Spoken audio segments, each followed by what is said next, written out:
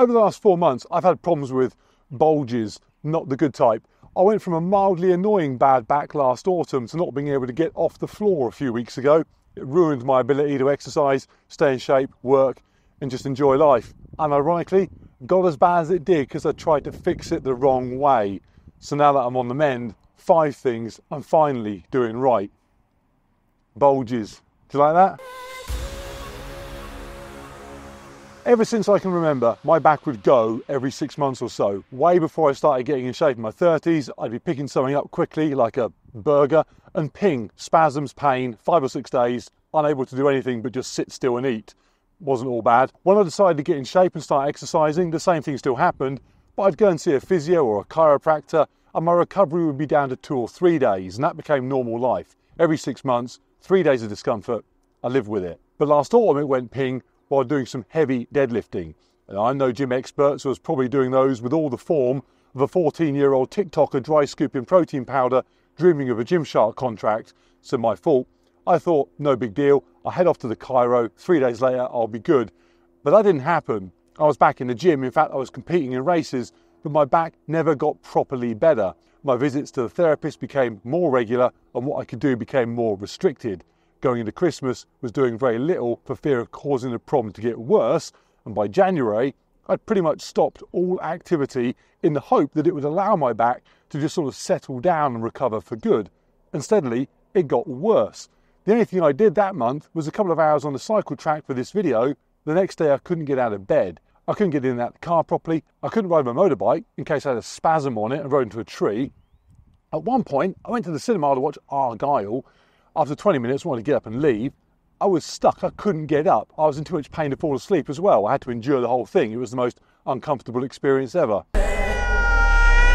And so, convinced I had a serious problem and keen to have some evidence of that to show here as to why I was doing no exciting content, I got an MRI. And the report that came with it showed degenerative disc disease, a disc bulge, annular posterior fissure, a disc protrusion, more bulges, bilateral narrowing. The list went on and on. Your body may have gone, but you're still here. And then things got better. An orthopaedic surgeon got in contact after they saw me moaning about my back on a podcast. They looked at my MRI and said, Yeah, your back is a bit of a mess. Because you're 50 years old, what do you expect it to look like? If it was a car, it would be in a museum. But none of those things on the MRI report are necessarily that bad. They're really the equivalent of just having grey hair and wrinkles. They come with age, but won't always cause you problems. Your back is basically George Clooney. I said, but I can't get off the floor some days. Something is very wrong. They said, sure, you no doubt did tweak or pull it. Those TikToker deadlifts might well have done that, but there was probably other things you were doing around that time that didn't help either. I said, I can't think of anything.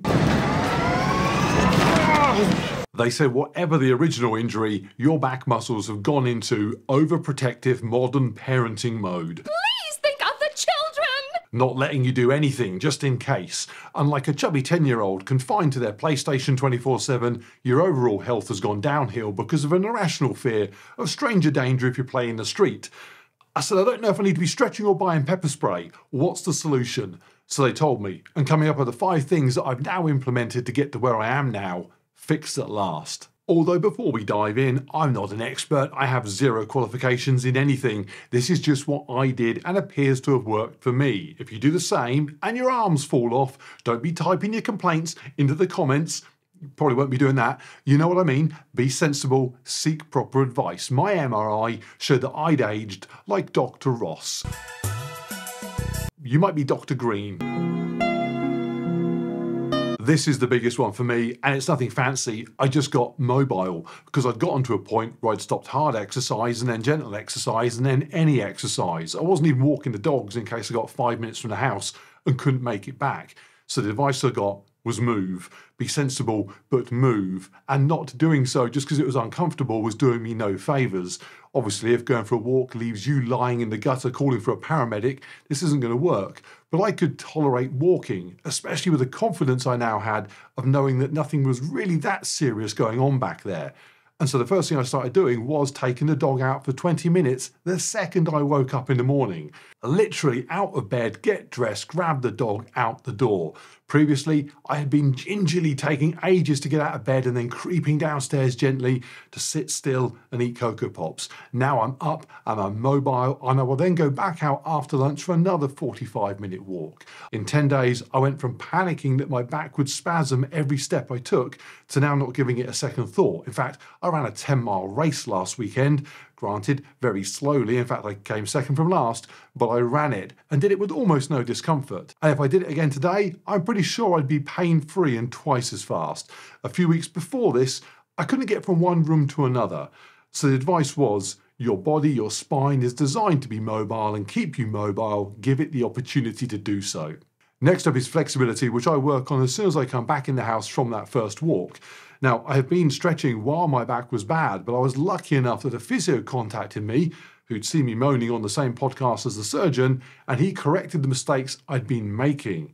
What I had been doing was trying to stretch my back where it hurt and then increase my flexibility in general with the goal of being very flexible. He got me instead to stretch the areas actually more likely to be causing a problem than my back itself, which was not actually tight from a lack of flexibility, it was tight from the overreaction to pain in that area, and then also to stretch the right areas more often but less aggressively. So for me, it was hip flexors, psoas, piriformis, glutes. Those were the areas identified by my chiropractor in person and then the physio in conversation as being actually tight to the point of restricting my range of motion. And particularly in the case of my psoas, being tight enough to pull on my back and probably be a significant part of the pain there. Again, I'm not an expert, and I had experts check me out in order to make sure I was stretching the right things. That said, here's an example of some of the stuff I am now doing. I do a psoas sofa stretch, almost the only way I can feel a proper deep stretch into that muscle, making sure I include a lateral bend with the upper body because the psoas attaches to the vertebrae in the lower back. I'm doing pigeon poses and variations on it. I'm doing the wall stretch from my quads, made famous at the moment by Knees Over Toes Guy. I'm doing plenty of work with my massage gun as well. It is now something I do every single day, but I stretch only to the point where my body is moving through that range of motion I want to have and no further. I then finish all that off with two things that just take some of the pressure off my back and allow the muscles there to just chill out a bit. First is the Cobra pose, which just releases some of the pressure on the discs in the spine. And then I hang upside down. And I've had the upside down machine for ages, but just got out of the habit of using it and I'll spend five minutes two or three times a day sometimes just relaxing upside down. You can get the same benefit by just hanging from your arms, but obviously you are having to use some muscles in order to do that and not fall off. Here, I can relax every single part of me, and when I go back the right way up, I am literally decompressed.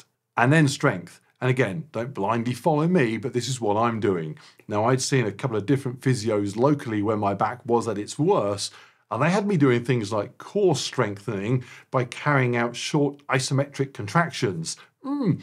When I explained this to my helpful physio, he asked if I'd ever trained core and abs previously, and I explained I had with things like hanging knee raises or cable crunches. So he asked whether I felt there was huge value in five second isometric contractions for a core that had spent 50 years doing rather more exciting stuff. He had a point. I needed to get back in the gym that I'd been terrified of stepping foot in for months. I need to increase the strength in my core, in my hip flexors, in my glutes, so that those muscles can work properly and support my back. And the way to increase strength in muscles is the way I've always worked to increase strength in muscles by shifting weight, whether it's barbell, dumbbell, or my own. Again, I'm not going crazy. There's no 500 pound deadlifts in my program right now, but I am doing things like dumbbell Romanian deadlifts, Nordic curls, body weight back extensions, all posterior chain stuff and then planks and plank variations and hanging knee raises for my core. And I've reintroduced things like the ski erg and the rower back into my training at a low intensity. Again, things I'd been terrified of going anywhere near and just hadn't used in ages. In short, I'm now being sensible, but I am working out the whole of my body in a way that I know will make it stronger and more mobile because it always has in the past. Right, last two things sitting or rather not sitting anymore. I actually purchased an ergonomic chair when my back was at its worst. I've come to believe there is no such thing. If you're sat down, you're compromised. Talking to camera like this is literally the only time I normally sit like this. Bizarrely, I've had this standing desk for ages. I just got lazy and wasn't standing at it. The ergonomic chair has gone, and I'm now stood here, or if I am sat down, it's on this stool, which actually goes up so you can sort of sit, lean on it, so that when I am using it as a seat, my hip flexors are still not massively shortened.